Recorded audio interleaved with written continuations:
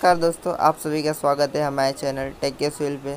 दोस्तों, ये वीडियो सिर्फ़ हेल्प के लिए बनाई जा रही है, जो कि यूपी के मजदूर जो अन्य राज्यों में फंसे हुए, उनकी सहायता के लिए वीडियो बनाई जा रही है कि वो किस तरह अपने वतन में वापस जा सके और कौन सी कौन सी प्रक्रिया, कौन से प्रोसेस को फॉलो करे जिससे उनका रजिस्ट्रेशन हो जाए और वो ट्रेन द्वारा अपने वतन वापस जा सके।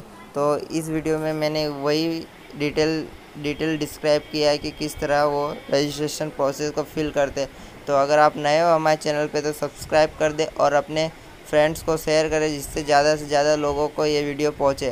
तो वीडियो स्टार्ट करते हैं। सबसे पहले हमें क्रोम ब्राउज़र में जाके जन जन सुनवाई dot U P dot N I C dot in की वेबसाइट पे जाना है। यहाँ पे हमें डेस्कटॉप मोड ओपन कर लेना है। यहाँ पे ई पास के आवेदन हेतु क्लिक करें, उसे कट करके हमें दो ऑप्शन दिखाई देंगे, प्रवासी पंजीकरण उत्तर प्रदेश से अन्य राज्य जाने हेतु और प्रवासी पंजीकरण अन्य राज्यों से उत्तर प्रदेश जाने हेतु। तो हमें उत्तर प्रदेश जाना है तो हमें दो नंबर के ऑप्शन पर क्लिक करना है। फिर यहाँ पे हमें अपना मोबाइल नंबर अंकित करके और ये कैप्चा एंक कैप्चा डाल के एक ओ टी भेजे पे क्लिक करना है तो मैं अपना मोबाइल नंबर एंटर कर देता हूँ।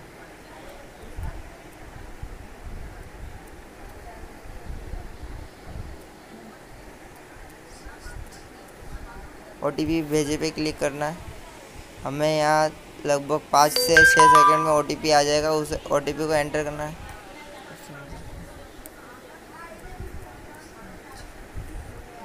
OTP एंटर करने के बाद हम, हमको एक फॉर्म फॉर्म खुलेगा, उसे फिलअप करना है। तो सबसे पहले मैं आपको सारी सारी डिटेल स्टेप बाय स्टेप बताऊँगा तो आप स्किप ना करें और पूरा वीडियो देखें।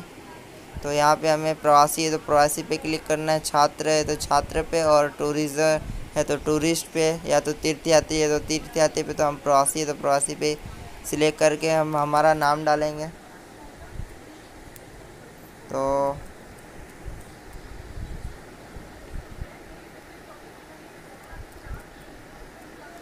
सिंह गौरव नाम डाल दिया, आयु डालनी है हमें हमारी। फिर यहाँ पे हमें अपना जेंडर सिलेक्ट करना है, पुरुष, फिर मोबाइल नंबर ईमेल हो तो ईमेल डालना है, नहीं तो नहीं डालना। आइडेंटी कार्ड में हम आधार कार्ड को सिलेक्ट करेंगे, फिर आधार कार्ड नंबर डालेंगे।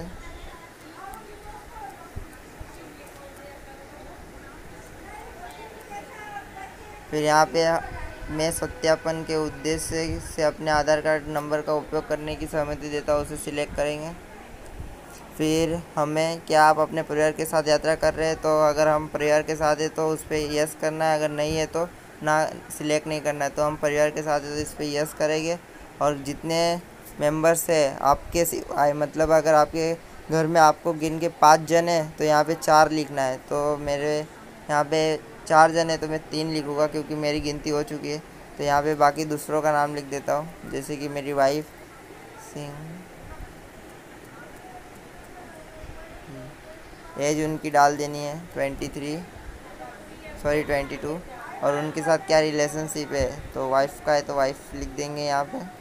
फिर अपने पुत्र का नाम, अगर आपके पुत्र है तो पुत्र का नाम लिख देना है। फिर सिंह।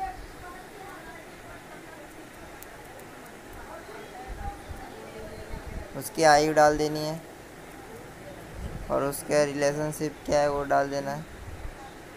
और अगर पुत्र हो, दूसरा हो, जितने मेंबर्स हैं, उन सबका नाम लाइन से डालना है। और उनकी रिलेशनशिप डालना है।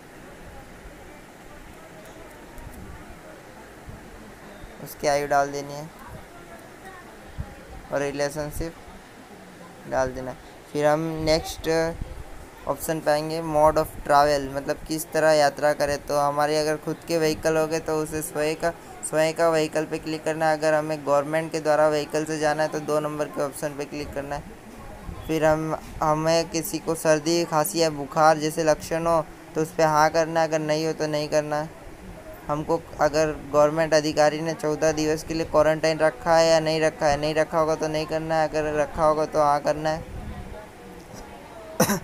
अब हमें अपने राज्य का, अपने करंट जहाँ पे हम है, उस जगह का एड्रेस डालना है। तो जैसे अभी मैं गुजरात में हूँ तो गुजरात का एड्रेस डालूँगा।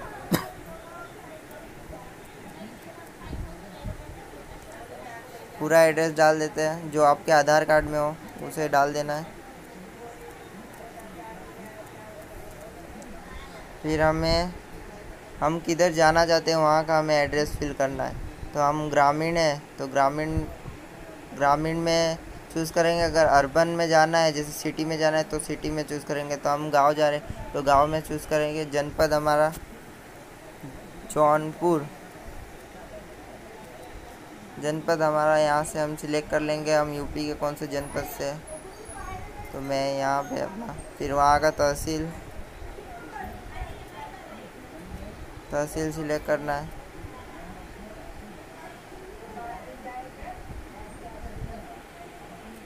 लोड हो रही है वेबसाइट में। तहसील के बाद हमारा ब्लॉक कौन सा है, उसे सिलेक्ट करना है। फिर ब्लॉक के बाद हमारे ग्राम पंचायत विलेज पंचायत का डालना है तो जैसे कि हमारा विलेज है, उसे यहाँ पे चूज़ करके डाल देना है। फिर हमें हमारे गाँव का नाम इधर ऑप्शन में दिया होगा, उस पर सिलेक्ट करके डाल देना है। फिर हमारे गाँव के एड्रेस का पूरा पूरा एड्रेस डालना है गाँव के, उसका।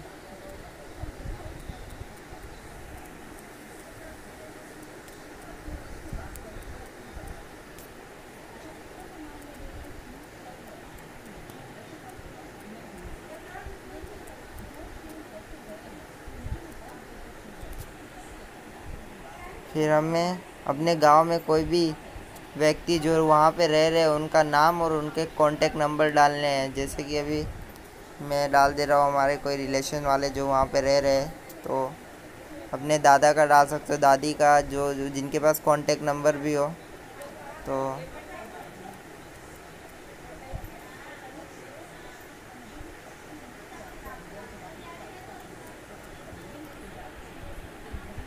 और उनका कॉन्टेक्ट नंबर डाल देंगे।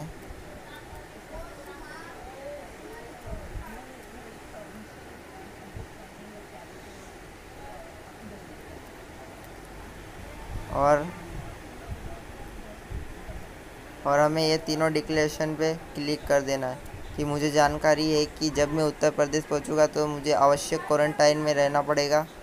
फिर मैंने अपने शहर और जनपद के किसी कंटेनमेंट जोन में पिछले दो माह से नि, निवास नहीं किया।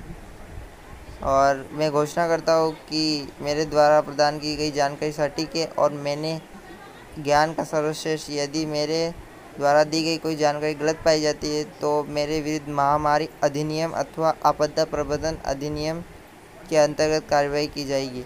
और ये पूरा फॉर्म फिल होने जाने के बाद हमें एक बार वापस से चेक कर लेना और फिर हमें संदर्भ सुरक्षित ग्रीन वाले ऑप्शन पे क्लिक करके सबमिट कर देना है। फिर उसके बाद हमें एक गवर्नमेंट, यूपी गवर्नमेंट की तरफ़ से एक मैसेज आएगा कि आपकी रजिस्ट्रेशन सबमिट हो चुकी है। आप ये ना सोचें कि अब ये आपके, आपकी इस रजिस्ट्रेशन के बाद आप तुरंत आपको गाड़ी या व्हीकल प्रोवाइड की, कर दी जाएगी।